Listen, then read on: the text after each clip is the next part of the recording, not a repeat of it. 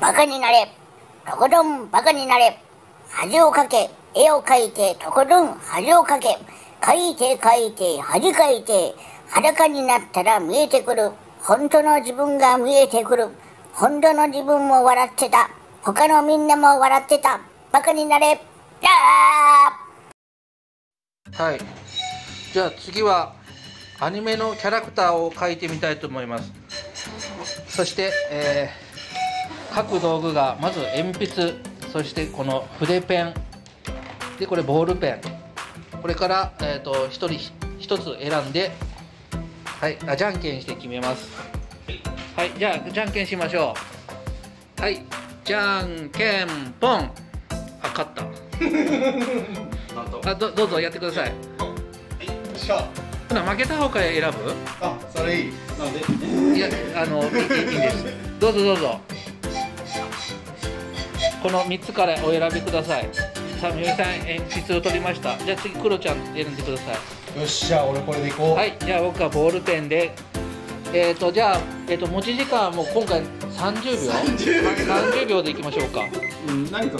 えっ、ー、とでお題がちびまる子ちゃんのおじいちゃんの友蔵を書きます。30秒で。30秒。はい。じゃあいきますよこれもう筆をこれ取っていい？あいいでいいです。はいじゃあいきます。よーいスタート。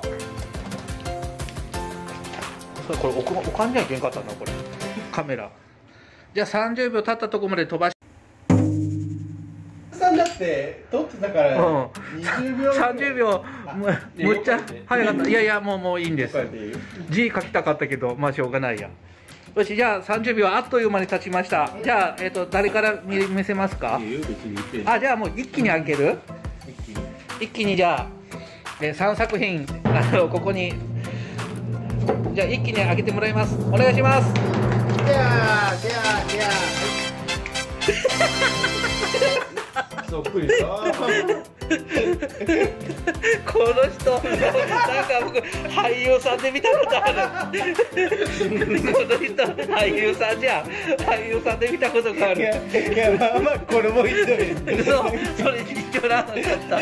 歯がなんかこの これ三好さんが書いた。